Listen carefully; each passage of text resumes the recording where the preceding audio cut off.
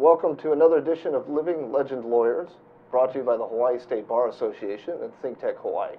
We're very happy to be here and to talk with uh, some of our three-digit attorneys, and by that I don't mean they have uh, only three fingers or three toes. These are individuals who, who have bar numbers with only three digits in them. This is part of Hawaii State Bar Association's 3D series, um, memorializing the careers of our uh, bar members with three digits. We're very happy to have with us uh, two attorneys here in the studio and one attorney via Skype. So let me walk through and introduce you. We'll first start to my immediate left uh, with Jim Leavitt. Bar number is 939. He was a graduate of the University of Michigan Law School and originally came to Hawaii with the U.S. Uh, Marine Corps uh, JAG program in 1968 and was assigned to Pearl Harbor. When he was discharged from the military, he took a position with the Public Defender's Office and uh, a year later joined four others to, to form a new firm. And then sometime about seven years after that left to start a new practice. That grew into the current Leavitt, Yamane, and Soldner that has been active uh, and practicing uh, firm here in Hawaii for over 30 years. Jim, it's great to have you here. Thank Thanks, you. Ray. Just to his immediate left is Bernie Bays. He happens to be also my, uh, my law partner. His bar number is 969. He graduated from Stanford Law School. He came over and worked as an associate and a partner at Paget, Greeley, and Marimoto, and left to be a partner at Carl Smith, Wichman, and Case, where he served as a co-administrator for the Honolulu office, as well as a section leader for the real estate and business litigation section. He then left uh, there to found uh, what is now Bays, Lung, Rose, and Holma, the current firm in which he serves as, as uh, the name, uh, principal name partner. Bernie, great to have you. Thank you. And joining us via Skype is uh, Brook Hart.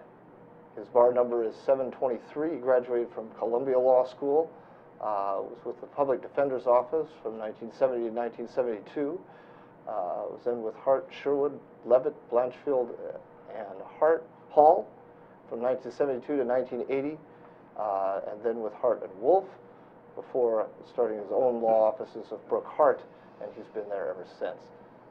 Brook, it's great to have you here as well. Thank you very much, Craig. So we'll get the attention off of me and my introductions and start talking to our living legends. And let, let me start, uh, Brook, with you. Tell us a little bit how you started the practice of law in Hawaii. What, what got you going here and, and what was that like at that time? Well, here's what happened. Before we started the public defender's office, and I was the first state and federal public defender for Hawaii, I was sitting one day in the Columbia Law School library doing some research for federal judge Jack Weinstein, who had been my evidence professor, and I got a call to come upstairs, and the dean of clerkships at Columbia said, we know you wanted to go to Alaska, where I'd been hired to clerk for Jay Rabinowitz, who was on the Alaska Supreme Court, and then dishired because of my draft status or fear that I would be drafted out from under him.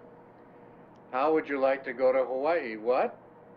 Yes, Chief Judge Martin Pence wants a clerk beginning November 1st, 1966.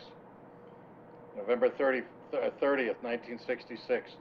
So, know, I went down to the law library, read some opinions that Judge Pence had written, thought, well, this would be a good idea. So I said yes. And I flew to Hawaii the day after I got admitted to practice in New York on November 29, 1966, and started with Judge Pence, clerked for him for a year, then was with High Greenstein doing drugs, draft, divorce, and other criminal activities. I And mean, uh, representing clients doing those things. well, I wasn't doing them, but they accused me of it. Until uh, 1970, when the public defender legislation was finally passed, I applied for the job. I was hired.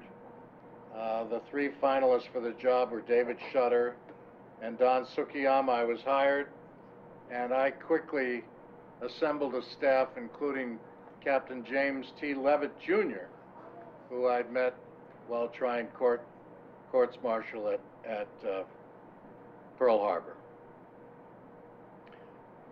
Well, fantastic. Let me, let me move over for just a minute and give uh, Jim an opportunity to jump in there, since I saw your name come up in this as well.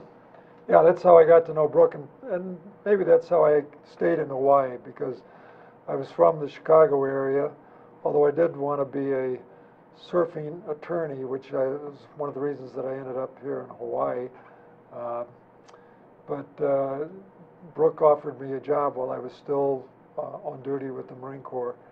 And uh, so it was a pretty easy step to just stay here in Hawaii and start right off with Brook's uh, operation that he had started up. And then you moved to, to- to become, uh, to, to move into a law firm then with him, Well, separate then- from the. Right, then, uh, it's uh, a very long story, I don't think we want to get into it now, but basically, the legislature did not approve of the way that uh, Brook uh, and some of us were getting off, quote, these hippie criminals. uh, Jim Who- means winning the cases. Yeah, well, I mean, I don't think they'd ever, I'm not gonna say they never heard of a motion to suppress before, but I mean, they started, the prosecutors started getting a lot of motions on Fourth and Fifth Amendment grounds that they hadn't seen before, and I think a lot of people who, uh, you know, uh, looked to be uh, guilty of whatever crime they were charged with were getting off. And anyway, so the uh, Defender Council, which had appointed Brook, was basically abolished uh, by the legislature, and a new uh, Defender Council was, uh, ena- was established, and they hired somebody else. So we just, we all left, and then we had, we just formed our new firm based on that.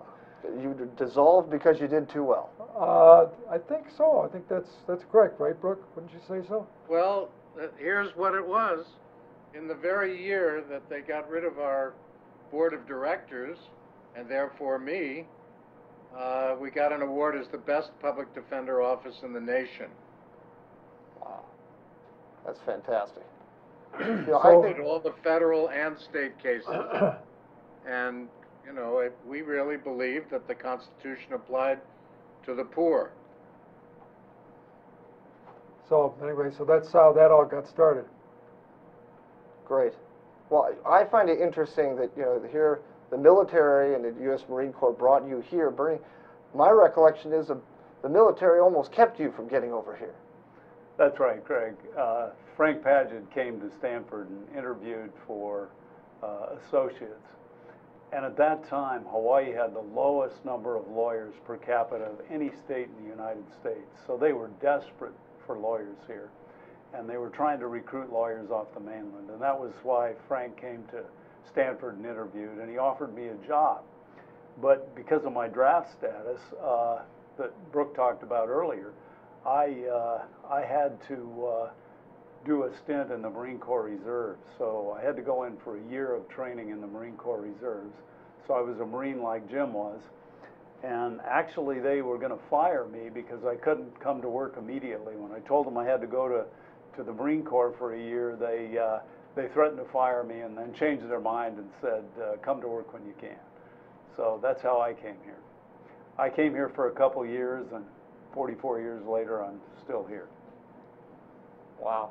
I, you know, I'm, kind of amazed as I hear the stories of how you got here, but I also appreciate that the environment, that, uh, the legal environment and such that you face was probably a lot different than it was now. Um, Brook, I'm going to jump back to you. What, what was the legal environment like when you, uh, you know, first started here in terms of the legal profession, uh, the number of practitioners? Well, I'm not sure how many they, there were. They started giving out bar numbers in something like 1964 or 5, uh, just the year be, before I graduated, maybe maybe 66. I'm not sure. My bar number 723, I got in 1968, and uh, Jim and and Bernie are a couple of hundred uh, later. So, um, you know, I think there were uh, basically a few hundred lawyers. Now, interestingly, as Bernie noted, uh, early on, the lawyers per capita was uh, less than any in the nation. Now, we're right up there with Washington DC and New York with lawyers per capita because a lot of people have realized, hey, practicing law in Hawaii can be a really fun experience. A warm experience. Jim, what, what can you add to that in terms of your experience coming here and practicing law? Um, I'm not sure how much, you know, things have changed. Um, I mean, I, I remember when I started out uh, with, when we formed our law firm, I'd never done any civil work. I'd just been doing criminal law in the uh, Judge Advocate General uh, Department of the Marine Corps. And uh, so I, I can I can remember when we I first uh, filed, had a complaint to do. I didn't know who signed it. I seriously did not. I had the client sign the complaint because I didn't know I was supposed to sign it. So I mean that's that's sort of how we started off our law practice. We none of us knew that much about civil civil law, but there we were doing it and didn't get into too much trouble and sort of figured it out after a while. Well, yeah, I had heard from a number of people, including you, Bernie, that, that you were sort of thrown into the fire from very early on, and, and not just in terms of, uh, you know, the types of cases and such, but even the volume. I, I went right into private practice when I came here, and w- I was assigned over 150 cases uh, the day that I started. And like Jim said, I didn't know much about what I was doing. So I had all these 150 cases assigned to me, and some of them were further along than others. So I looked at what others had done in those cases that were farther along and tried to do that in the cases that weren't so far along. And uh, obviously, I had some real good people to learn from uh, Jim Kruger and uh, Frank Paget and Hod Greeley, uh, top uh, trial attorneys. So I had an opportunity to learn from them. But the volume was relentless. Okay. And I was telling you on the way over here, there were sometimes there were letters from clients written two years earlier pleading for some information about their case. So the volume of work was just uh, way had outstripped the number of attorneys that were available to do the work. Well, we're going to come back and talk some more about that. You're watching Hawaii's Living Legend Lawyers, brought to you by the Hawaii State Bar Association and Think Tech Hawaii. We're happy to have you. We're going to go to commercial. We'll be back in just about 30 seconds. Hi, I'm Jay Fidel. I'm host of uh, Hawaii, the State of Clean Energy, which is our flagship show, which plays 4 to 5 p.m. every Wednesday. And the, uh, the supporters of that show are uh, Hawaii Energy Policy Forum and Hawaii Energy. And luckily enough, we have representatives of both of them right here today to tell you more about what they think about the show. Uh, Sharon Moriwaki at my left is uh, co-chair of Hawaii Energy Policy Forum, and she goes first. Sharon? Thank you. Thank you, Jay. I'm so glad that we have this Hawaii, the state of clean energy. This was uh, two years ago when we started this, and we have continued it because it's so important. And there's so many developments happening across the state. And we hope you'll tune in every Wednesday, 4 to 5. It's wonderful. And uh, Ray is uh, Hawaii Energy. Ray, what is your thought about the same subject? Well, I, I agree completely with Sharon uh, that uh, we are talking about every Wednesday, 4 to 5. Uh, we talk about some of the most important subjects that uh, are affecting the islands uh, now and into the future. Uh, energy, clean energy, we need it. Uh, we often run into uh, new ideas that we had not uh, thought about before. Uh, we did just today, and uh, I, I think we're going to have more of that uh, in the future. So uh, come on down and, uh, and watch us uh, 4 to 5 on Wednesdays, um, and we'll uh, see what happens. We'll see you then. Aloha. Aloha. I have an observation about Well, welcome what back. that you might want to hear about. Okay. I think, I think we've got an observation, but I, first I want to welcome everybody back to Hawaii's Living Legend Lawyers, brought to you by the Hawaii State Bar Association, part of our 3D series, and this particular episode is, is called Building a Practice and Building a Life. And uh, we have three panelists with us. We have Jim Leavitt, Bernie Bays, and on Skype we have Brook Hart. And Brook, you were just mentioning you had a, an interesting uh, story to tell us about, pre- presumably about the legal profession, and we look forward to hearing. Hopefully. Well, y- y- you know, we were talking about how we got started and what mattered. And I think it's, it's, it's important to Hawaii that our fathers, our older lawyers, our those who served in the Second World War, and particularly in the 442nd Battalion, and became the leaders of our state, had experienced enormous prejudice. And for the first time, they were in positions of power, and particularly a number who became judges. And this was at the time that the Warren Court's decisions on individual rights were featured in our jurisprudence. And I think those who came back from World War II and from the experience of having been uh, rejected because of their racial background, their color, their, their uh, heritage, embraced the Warren Court's decisions. And that meant a great deal to the development of individual rights law in Hawaii. And Jim and I and Bernie were kind of in the forefront of the young lawyers who were applying those precedents in Hawaii law. See, and that must have been an exciting time to be involved in law, particularly if you had an interest and a passion for those areas. Jim, what do you remember about them?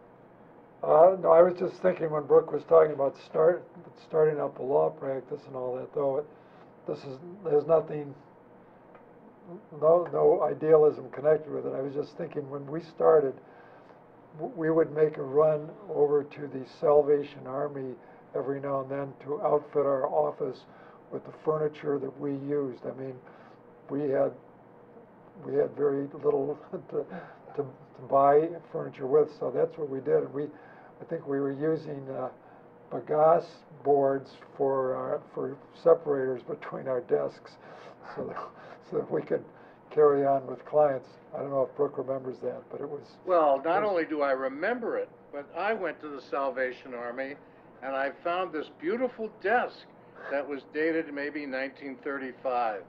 And I bought it, and it's my desk today. It's been recovered a few times in a little bit more attractive wood, but it's a beautiful and unusual desk, and it sits in my office on Queen Street at this moment. All right, that's Bernie- loyalty. That is loyalty. Bernie, what, what do you recall from that time, or, or, you know, as you started out your practice here, in terms of uh, challenges you might have faced, whether they were fiscal or otherwise? It, it was an exciting time. Uh, this place was smoking in terms of the amount of legal activity. Uh, people had just started uh, filing personal injury cases. Uh, up until that time, people here sort of had the view that when you were injured, you should just suck it up. Uh, but in the late 60s, early 70s, people began to embrace the idea of recovering for injuries and in lawsuits. And Paget Greeley did primarily plaintiff's personal injury work. And we began to get a lot more traction. We had an office on Maui, an office here on Oahu, and for a short time, one on Kauai. And we began to get larger and larger verdicts in those cases. Why So, I, I wanted to see a picture of a picture of you back from that time. Do we have that? We can put that up. Was that sitting at your desk there? And yes, oh, Hopefully. I was younger then, Jim. There was a, and, and you had more facial hair at that time, you know, there's a lot more hair back in those days, all over the place.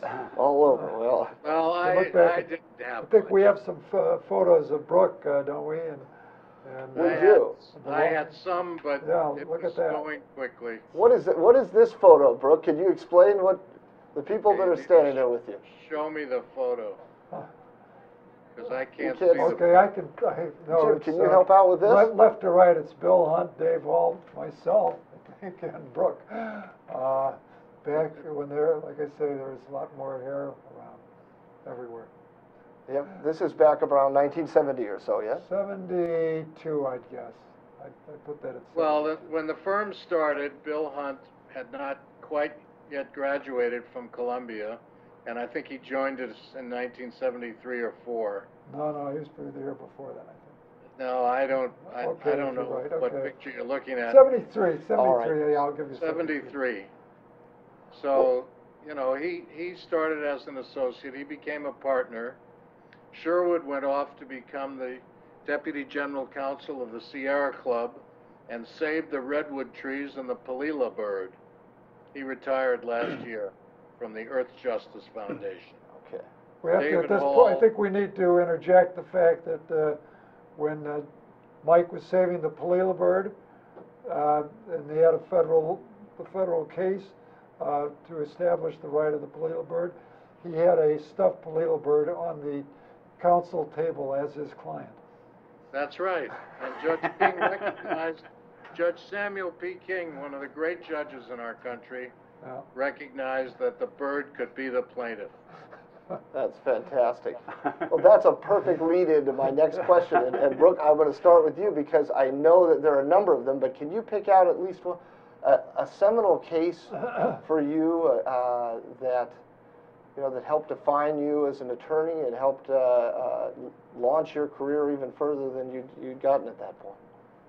Well, that's really hard. There were a number of cases, but the one that I think about as falling into that category involved my defense of a young Navy uh, uh, seaman uh, whose name was Butch Drury, Eudore Drury, who was, it could have been Johnny Appleseed in the movie, who had red cheeks and a big smile and was very much against the war in Vietnam.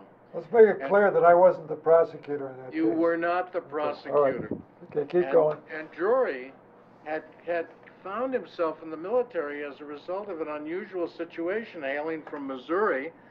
He'd, he'd, uh, been forced by his father, if he wanted to go to college, he had to go to the military academy at, at Annapolis.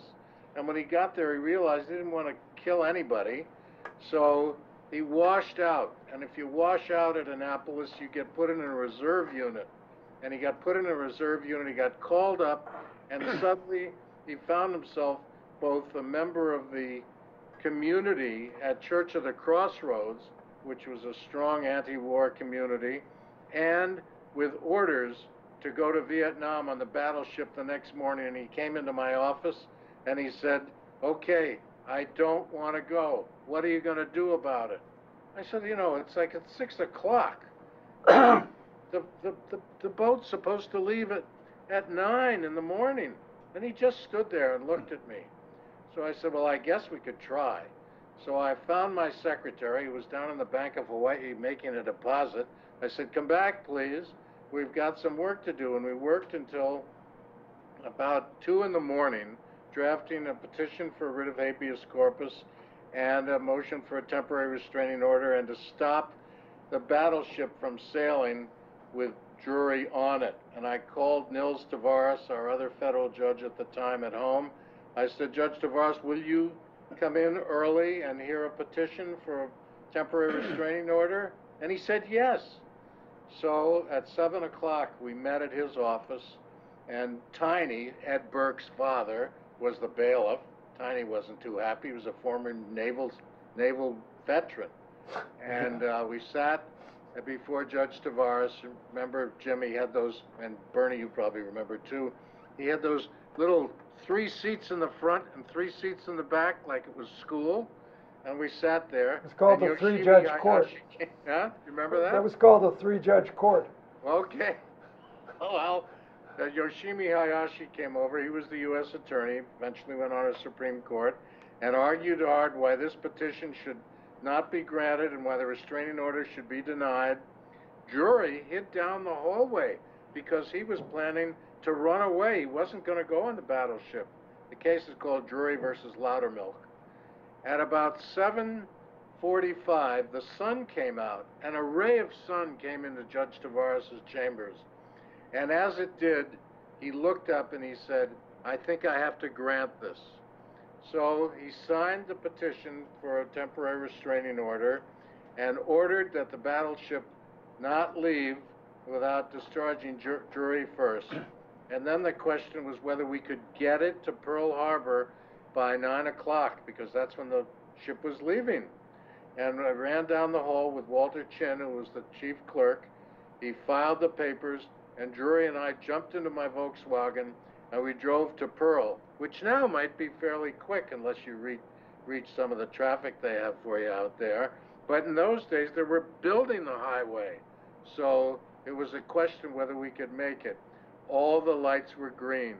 We got to Dockside at four minutes to nine, and I went up to the to the to the mate who was in charge of the gangplank and said, "May I see the captain, please? I have a petition to file to serve on him." And they brought Captain Loudermilk down there, and we served him at two minutes to nine. And Drury was saved from going to Vietnam. He was later prosecuted for being out of uniform when he wore a peace symbol. He was acquitted of that, and also failing to shave. But the naval regulations permitted him to wear a neatly trimmed beard. So the end result of the, that was he was released from the military as a conscientious objector. I got a letter from him about six years ago and a book he wrote about this experience. You know, uh, that's funny because th- you just jogged my memory about something I'd forgotten. Because we were, it seems like we were always filing writs of mandamus and restraint. So I I remember one morning Brook, Brook called me and we had to go and get Judge Heen's signature on some important, you know, restraining order, whatever it was. And I had to paddle out to uh, Pops or canoes, wherever Judge Heen was surfing. to I give it to I forget if I had him sign it out there, we had him Right. paddle Uh, back in to sign it. But he was very good-natured about it, and we did it. Well, But Walter what was a he was judge. wonderful. Well, we gotta move to another commercial here, so let me do that. We're gonna come back and I, I wanna hear a few more stories on this side of the, uh, of the Skype camera. You're listening to, uh, the Hawaii State Bar Association's Living Legend Lawyers and our discussions with Jim Leavitt, Bernie Bays, and Brook Hart. We'll be back. Aloha, my name is Kenneth Lawson. I'm your host here at Life in the Law. I'm really interested in law as I practiced it for 18 years before coming to Hawaii. I practiced criminal law and civil rights law on the mainland. Now I teach law at the University of Hawaii Law School, William S. Richardson School of Law. And I bring in guests who are very current on legal issues that affect your life here in Hawaii. Uh, come and join me every Wednesday at 1 p.m. as we explore how the law affects you, how the law is changing, and why it's important that you should care about what's going on in your community. See you then. Here in the country. And we're back with the Living Legend Lawyers and Building a Practice, Building a Life, brought to you by the Hawaii State Bar Associations, where we're talking about experiences building a law practice a law firm and trying to balance that uh, demanding law career with your life.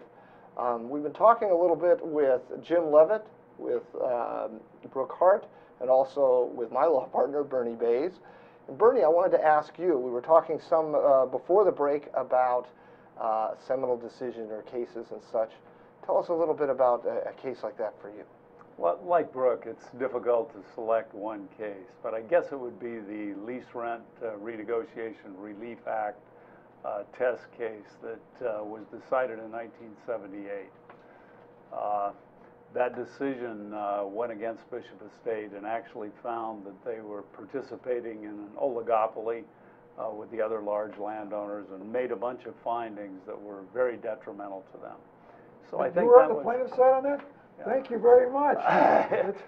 That was a, I, I think that was a, a seminal case, but unfortunately, it kind of had the effect of waking, awakening a giant.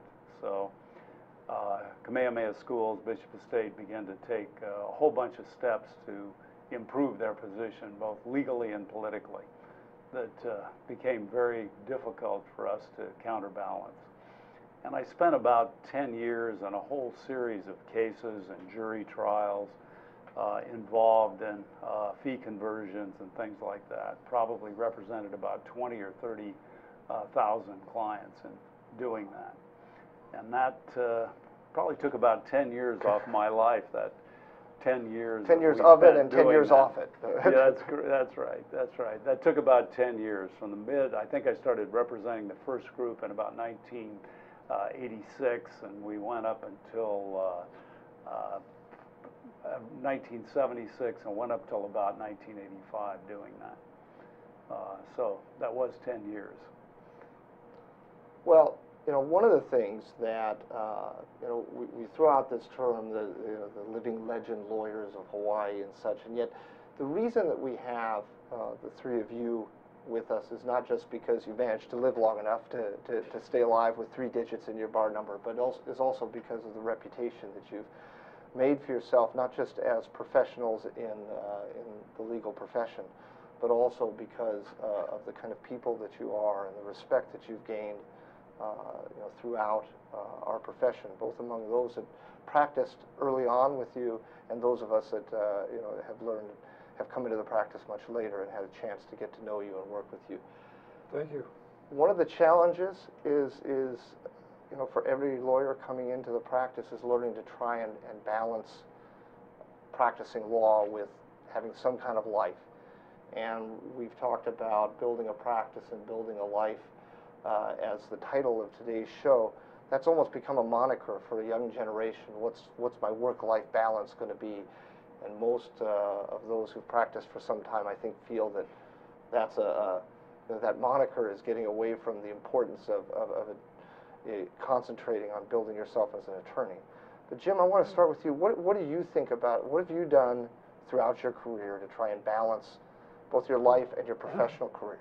It is, it is hard to, uh, to do that balance, and I must say that if you want to really uh, achieve something and be successful, you are going to have to put a lot of your, a lot of that balance is going to be heavily weighted towards practicing law and, just getting it right, figuring out, because, I mean, perseverance and, uh, and grit is a big part of what, uh, uh, what's part of success in the law practice.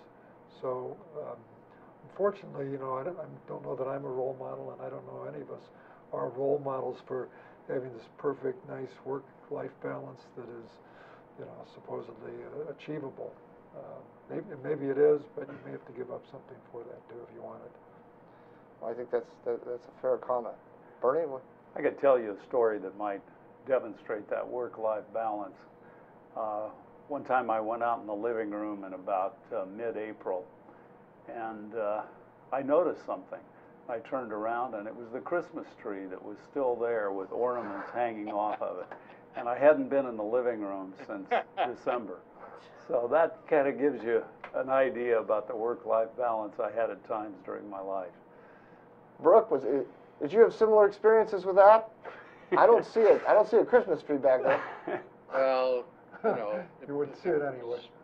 If it was Hanukkah time, you'd probably see some, some semblance The of Hanukkah bush. celebration. But here's the thing. This is, this is one of the most difficult challenges for lawyers who are busy and involved in their practices. Because the client always comes first, except your family needs to come first. Now, Jim, who I know, you know, like a brother, and I've loved Bernie for many years, but I never practiced law with him. But, you know, I was the best man at Jim's wedding. And I loved Jim's wife, who was a wonderful person. And I know his daughters. And he, he did that balance pretty damn well. If I go out of the room and I go in the kitchen, two of my wives will be in the kitchen. They're in there now. And another one will be arriving tomorrow. And several children will arrive from both marriages. And my woman I've been with for 23 years, we don't have children, but she's like the third mother. So, you know, it's kind of all worked out. We're all together, but it's been challenging because when you Yep. look at the commitment you make to a client who has uh, his or her life on the line, that always has to come first. And sometimes it's difficult to balance with your commitments to your family. Well, I can appreciate that. Hey, I- wanted to get a chance to put up a picture. We haven't had seen a picture yet uh, of Jim, have we? We had a picture with Jim in it as well? Yeah, I was, I think I was. Oh, were you yeah, in- there- you were in was the other that one, okay. I was in that one. There, Oh. Oh, and here's another one. Brook, I, I don't know if, the, if you can see this, but this is a picture of you, and, and maybe you can tell us some about what happened. This is 1984, and it is uh, you with Henry Huli Huli, uh, Hui Hui, and uh, the, the, he was just been acquitted, as I understand it, for exoneration. Is that Well, that's right. That was one of the more extraordinary trials. Henry was, along with Nappy Pulawa, Alema Leota, Alvin Ka'ohu, and Bobby Wilson, said to be among the leaders of Hawaii's organized crime. This is the, the newspaper called them the gang that couldn't shoot straight. And we had over a decade of trials back to back, this being the latest one in 1984 when Henry was charged with extortion and he was acquitted by a jury. And the facts were he went on the job site, which ironically was the federal court building, and he told a man named Gushikin, hey, you could get hurt on the job. And what Henry was saying was, watch out, Gushikin, these guys walking around with rebar, if you don't watch what you're doing, you can get injured. But what Gushikin heard Of was, course. he was being extorted. You could get hurt on. it. So what I did in final argument was, The Godfather was kind of popular at the time. I just put some Kleenex in my mouth and played it for the jury. And they cracked up, of course, and Henry was acquitted. And that's what was going on there. We had just come out of the courthouse, which is the Supreme Court building. We were on the mauka side. Now it's the Supreme Court building, but it was the circuit court then. All right. Well, hey, all of you are litigators, and I'm, I'm sitting here thinking, you know, a good litigator would never ask a question they don't already know the answer to it. And I don't know the answer to this, but I'm going to ask it anyway. And Bernie, I'm going to start with you. You know, knowing what you know now, what you've been mm. through throughout your career, all the tough times, the challenges, and everything else, but also all the success, would you go back and do it again? Would you stay in, in the practice of law, or would you pick another path? I think the practice of law is still an opportunity to make a decent living and gives you an opportunity to help people. And I think the opportunity to do a decent living in a respected profession where you get the opportunity to, to help people is becoming more and more rare these days. And I think the practice of law still today offers that opportunity. Uh, I'm not sure you're going to get rich, although uh, plaintiffs' personal injury attorneys like Jim have been very successful. Uh, but I think you're going to make a good living, and it gives you an opportunity to help people and maybe make a difference. Uh, like I'd like to hope that I made a difference in those uh, lease rent cases and in all the fee conversions that we did for the uh, single-family lessees and condo lessees. So I'd like to think I accomplished something there. So I think it, it combines an opportunity to, to help people, to make a difference, and to still make a, a decent, fair living. How about you, Jim? Would you go back and do it again? You were saying if, if I knew then what I know now, That's right. I, I would have bought Microsoft stock and just. The- The, uh, no, yeah, I, I'm, I'm very, uh, content with the, uh, with the practice that, uh, we've, we've built. And, uh, I do enjoy getting up in the morning and going and helping people. I interact with, you know, they say, real people They Yeah. have real problems. And, uh, uh, hopefully at the end of the representation, they thank me and, and go on, uh, to a, to a life that's a little bit better because Yeah. of my, uh, involvement with them. Great. Brook? Similar sentiments, or you take a different path? Well, look, the work we do is never boring. And we're actually able to see the results of our efforts if we do the job properly in advancing somebody else's life in a positive way. So I have to say, well, I might have changed this or that, or made this decision or that decision a little differently. I would do it all over again and continue to do it to this day and have no reason to stop at this point. We're very fortunate to have had the educational opportunities that the three of us have had. We're very fortunate to be in a position to have the important advantage you have when you have a law license. And we should never forget our good fortune. We have just a few minutes left, and I, I'd like to take this opportunity, first of all, to thank you again for coming and being on the show and, and, and giving your thoughts and your impressions. If you were talking to a young attorney now, someone just starting out, coming into the practice of law, short, sweet, what would you tell them? Bernie? I think I would tell them probably to do a little better job than I probably did in seeking that uh, uh, life balance between your work life and your personal life. I probably weighted my life much too much uh, heavily on the work side. I had things that I wanted to accomplish, uh, both for our law firm now and firms that I was with earlier. I devoted a lot of work and a lot of time to that. I probably would do a better job of that. And I think, uh, I think younger people today are doing a better job of seeking a, a more appropriate balance between their work life and their personal life. Jim? Um, Okay, without, uh, I, I agree with uh, what Bernie has said. The, the other thing I would say though is, don't neglect yourself. Uh, Take care of yourself because that's all you got, and uh, you need to, uh, you know, work out, uh, stay in, stay in shape and all that, uh, because if, if you lose that, you're gonna have a problem practicing law. And I know you work out at Clark Hatch. You're also a surfer, right? Yep, As are you, Barry. Yes. Jim and I actually uh, made the finals of the Lawyers Longboard uh, uh, National Championship uh, about four years ago. I think I've seen that picture. Brook, let me give you a minute to, a few comments to our young lawyers. Well, I always believed that if you didn't take care of yourself, you couldn't provide the excellent service that you were committed to. So, you know, I swam for 20 years at Ala Moana, but the problem was I didn't use sunscreen early enough. And, and the result is I kind of look like a leopard. I rode, I ride my bicycle every day in the mountains in Manoa and try to stay in good condition.